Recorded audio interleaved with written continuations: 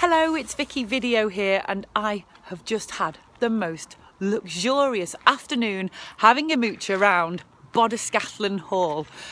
Oh, well, as soon as you step into the place, you know that you are entering a whole beautiful new realm of luxury.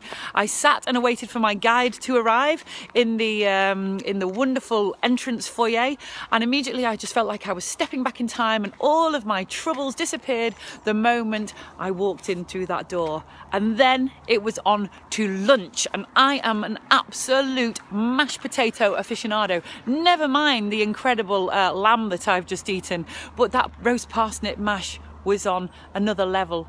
And of course, looking out of those huge big leaded glass windows out over Conway Castle, I don't think I've ever dined with such a mesmerising view.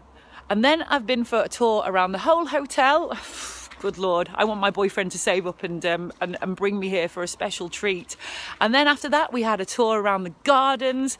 I don't think i've ever seen such immaculate gardens. Uh, my mother's garden is immaculate but the gardens here, wow, just take a look at those hedges.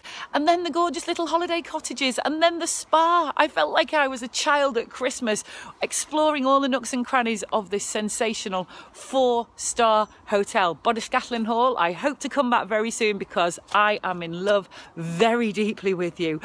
Ah, what a shame I'm going to have to leave.